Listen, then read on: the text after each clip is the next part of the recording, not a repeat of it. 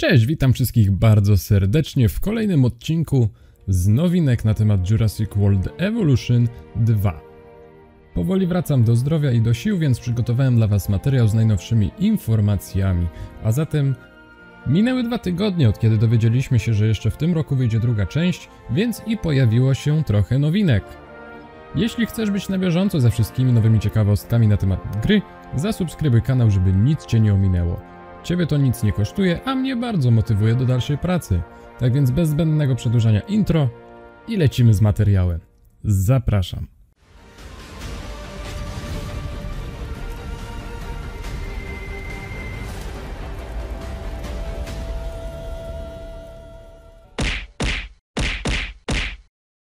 Co wiemy?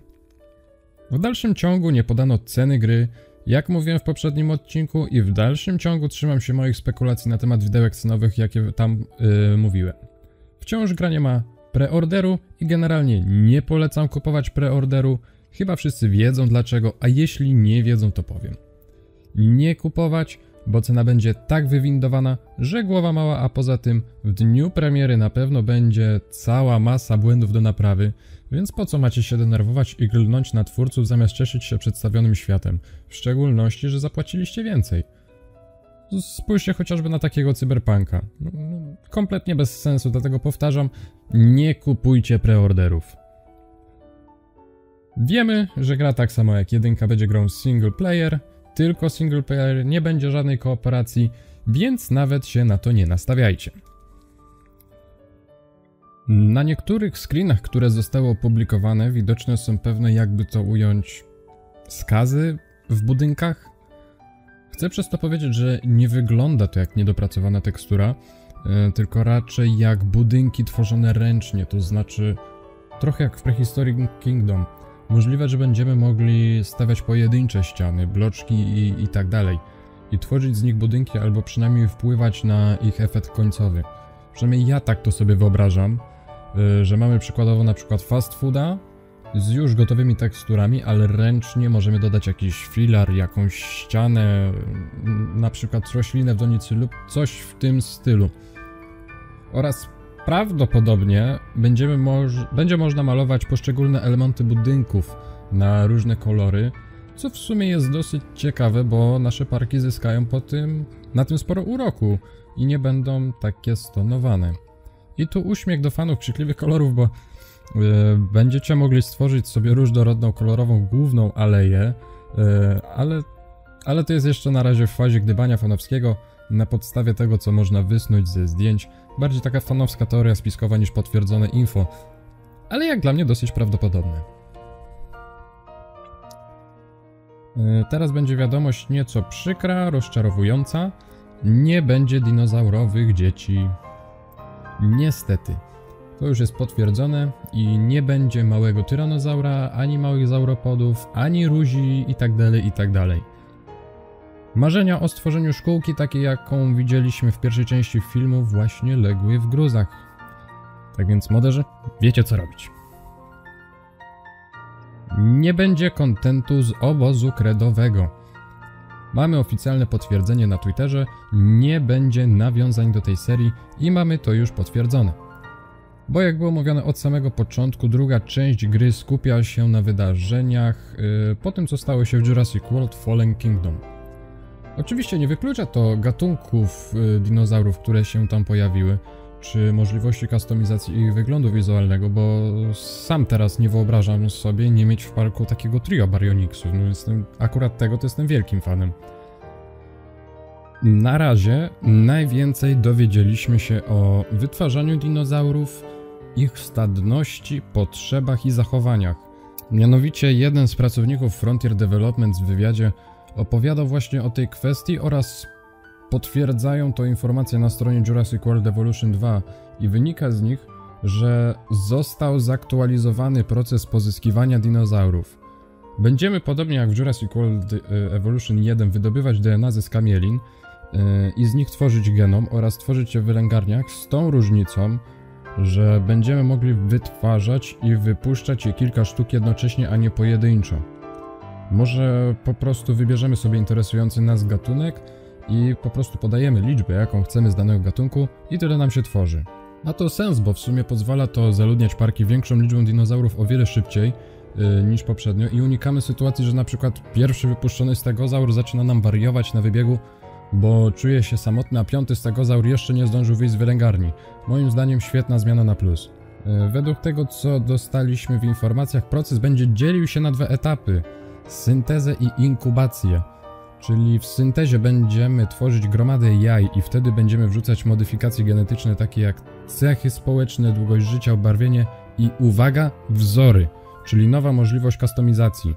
Wyniki modyfikacji genetycznych będą ujawnione pod koniec etapu syntezy i dinozaury będą mogły mieć zarówno pożądane, jak i niepożądane cechy, uzależnione od tego, jakie modyfikacje wybraliśmy, czyli nie będzie już y, można na ślepo wrzucać y, tych samych modyfikacji do każdego gatunku. Y, byle tylko rating się zgadza, bo może mieć to różne skutki dla różnych gatunków, tak więc jak dla mnie bardzo fajna zmiana i bardzo to rozmaici naszą rozgrywkę, tak bo jednak będziemy musieli poświęcić troszkę y, więcej uwagi na to, jakie modyfikacje wgrywamy do jakiego gatunku. Fajna zmiana, mi się podoba. Będzie też nowa funkcja, taka jak zdalne uwolnienie, które pozwala nam przetransportować dinozaury bezpośrednio z wylęgarni do innego punktu na mapie. Y, moim zdaniem super sprawa. Powiedzmy wylęgarnia w jednej części parku, a wybiegi gdzieś na zupełnie innej części, jak na przykład y, Raptor Spadok z filmu, czy szpital jak w obozie kredowym. Coś takiego mniej więcej tak to sobie wyobrażam. Y, no, moim zdaniem będzie to miało troszkę pewien sens, bo jednak no, nie będziemy wypuszczali dinozaurów tam, gdzie goście to widzą, tylko jednak będziemy mogli sobie wyodrębnić pewnie, podzielić taki nasz park na pewne części, także tutaj jest strefa pracownika, E, taka pracownicza, tu będzie wylęgarnia, tutaj będą sobie dinozaury na przykład dorastać i tak dalej. No, moim zdaniem to mi się podoba, właśnie tego mi też po części brakowało w pierwszej części. Można było to zrobić, ale no bez modów się no, nie, nie obeszło. Dalej. Wykluwanie jaj w wylęgarniach to nie będzie już y, jedyny sposób, w jaki będziemy mogli pozyskiwać nasze dinozaury bo jak się okazuje w niektórych trybach będzie można przetransportować dinozaury żyjące na wolności za pomocą zdalnego przechwytywania. Lub będzie trzeba takie dinozaury po prostu zlokalizować w okolicy, uśpić i przetransportować na wybieg. Wcześniej upewniając się oczywiście, że na wybieg, na który go przenosimy, będzie miał wszystko, czego potrzebuje, tak? No, żywność, odpowiednią powierzchnię, wodę, może towarzystwo, kto wie. Także zobaczmy, jakie tam dinozaury będą na wolności. Ale to ma być chyba tylko w poszczególnych trybach, tak więc spokojnie, bez obaw. Mamy informację, że pojawią się nowe zachowania wśród dinozaurów, czyli coś, czego nie było w jedynce, czyli dinozaury będą tworzyć teraz terytoria na wybiegach w zależności od potrzeb danego gatunku, czyli nie mamy gwarancji, że będą one cały czas w jednym miejscu, będą dużo częściej chodzić, yy, przemieszczać się po naszym wybiegu więc będzie trzeba projektować wybiegi z galeriami widokowymi tak, aby jednak cały wybieg cały czas był widoczny, a nie na zasadzie, że tu postawimy galerię, więc naprzeciwko galerii postawimy sobie karmnik i wodę. Więc na pewno będą głównie siedzieć tutaj. No nie. Koniec z tym. Yy, Frontier Developments troszkę tutaj właśnie zmieniło. Nie będzie można zrobić tak jak w pierwszej części. Yy, jak widać, to się już skończyło i będzie trochę trzeba pogłówkować, jak będziemy projektowali wybiegi dla naszych milusińskich. E, jak już jesteśmy przy stadności i terytorium, to zostanie rozszerzona właśnie e, mechanika stadności, więc teraz terytoria różnych gatunków będą na siebie wpływać dużo bardziej, bo będziemy mogli nawet obserwować walki pomiędzy gatunkami o dany teren i dominację. Będą gatunki, które się tolerują i które się nie tolerują a odpowiednie dopasowanie gatunków na danym wybiegu będzie miało wpływ na ocenę naszego parku i samych dinozaurów, tak więc jak widzimy, mocno skupili się na rozwinięciu oceny parku, stadności i potrzeb naszych dinków. E, bez zmiany zostaje to, że gatunki będą chciały poszerzać swoje terytorium. Jeśli uznają, że mają po prostu za mało przestrzeni, po prostu będą próbowały się wydostać z wybiegu, zupełnie jak w pierwszej części. Dinozaury będą reagować na otoczenie, czyli pewnie chodzi tutaj o występującą pogodę, ale mają też wykazywać jakieś nowe zachowania, więc i pewnie na dniach e, temat zostanie bardziej rozwinięty. Na chwilę na temat tych nowych zachowań nic nam nie powiedzieli więcej. E, Będzie dużo nowych animacji, gdy dinozaury odpoczywają, spotykają się, chodzą, biegają, polują i walczą. Jak dla mnie fajna zmiana, albo raczej rozwinięcie tego, co było, bo gra nie będzie ciągle taka statyczna i przewidywalna. Teraz krótko o świetnej zmianie, a w zasadzie rzeczy, której nie widzieliśmy w jedynce, dotyczącej mięsożerców. Otóż w dwójce drapieżniki, które się do tego nadają, będą mogły polować stadnie, w sforach i właśnie przy takich porowaniach yy, będzie bardziej dynamiczny zakres ruchów podczas zabijania zdobyczy. Ale to jeszcze nie wszystko w temacie. Otóż dinozaury uznane za ofiarę mogą być w stanie uciec przed drapieżnikiem i dalej żyć. Czyli albo obejdzie się bez obrażeń, albo będzie trzeba Dinka trochę podratować. To jest to, na co bardzo czekam i bardzo chcę to zobaczyć. Y, Te zachowania y, y, stadne to jest to, czego mi właśnie brakowało u Raptorów w jedynce. Właśnie to, to jest cały czas to, że mówię, że gra jest przewidywalna i statyczna. Tutaj zgodnie z tym, co mówią, tak, no gra już nie będzie właśnie taka łatwa do przewidzenia, mogą te zachowania być troszkę inne i takie polowania w stadzie również będzie to dosyć fajna odmiana. E, Teraz jeszcze troszkę informacji właśnie na temat strażników. Dowiedzieliśmy się także, że będzie można łączyć zespoły strażników z posterunkami strażników, które będzie można umieszczać na wybiegach, które będą przez nich odwiedzane na patrolach. Będą oni tam wtedy skanować każdego dinozaura w zasięgu posterunku yy, i będą otrzymywali informacje, które dinozaury trzeba uleczyć, podratować, yy, coś w tym stylu, tak sobie mniej więcej to wyobrażam.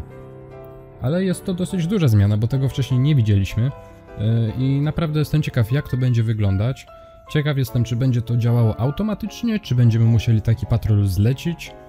Yy, No, przekonamy się, jak zagramy. Ale wciąż będziemy mogli zlecić strażnikom zeskanowanie czy wyleczenie takiego pojedynczego dinozaura, tak jak to było w jedynce. Także nie ma co panikować.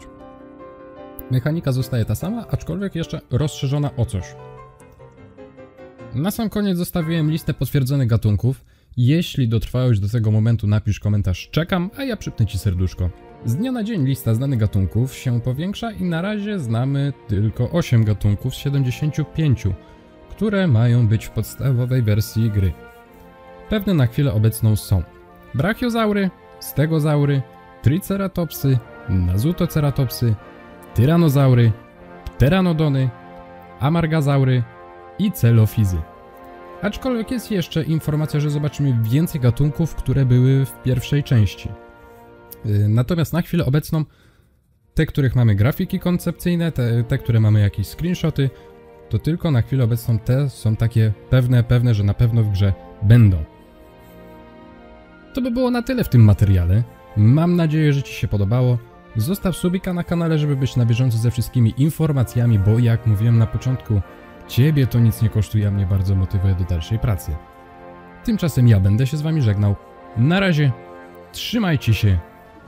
Jąteczka.